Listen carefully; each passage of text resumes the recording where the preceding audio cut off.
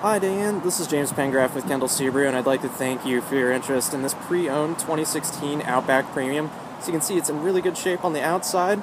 Still have a healthy amount of tread on the tires here.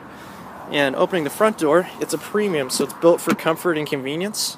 You have seat warmers on here, dual climate control, reclining rear seats, hands-free connectivity for Bluetooth, and many more features. I was hoping this might entice you to come and take a closer look.